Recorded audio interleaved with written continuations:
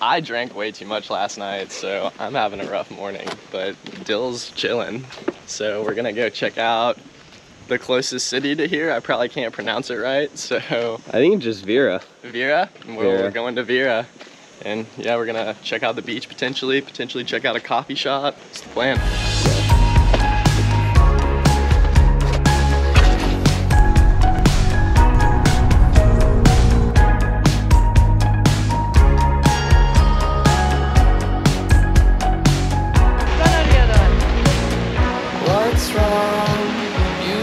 Asking, but I don't have an answer. This is a pretty sick zone. Super crowded, but there's like little caves and crevasses right on the ocean. Pretty cool. Sick, we have secured our own little beach spot down here in the shade, kind of tucked away in some rocks.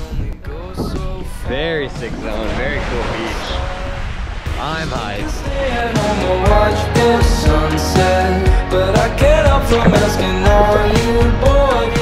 A home. And you could like come out on the other side in the bay. Sick. There's nobody there.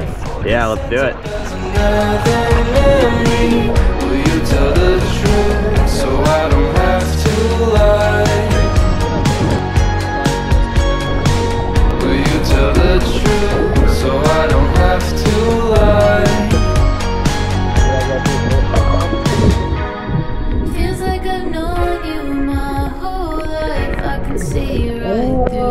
I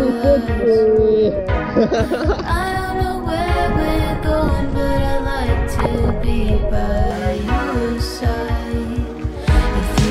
me how you're feeling, maybe we get through. Going was super sick. There was caves, cool coral, awesome like rock formations. Now we're gonna go to uh, Chiringuito, which is like beach bar, and grab some food. The crew's probably gonna get a drink, and should be a good time. if you're feeling lonely, you should tell me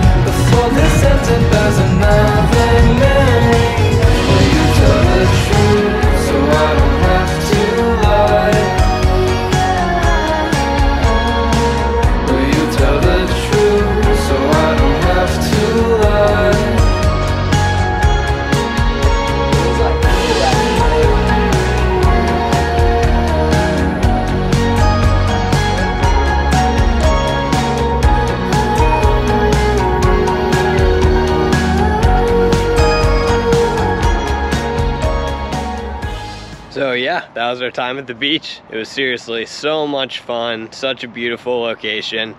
And after that, we headed to a nearby city and went and checked out a coffee shop. One of the most fun days that we had in the south of Spain. Obviously the cable's super fun, but doing stuff like that really helps you just see more of the culture and like what's around. And yeah, really appreciative that we got to do that. That was such a fun day.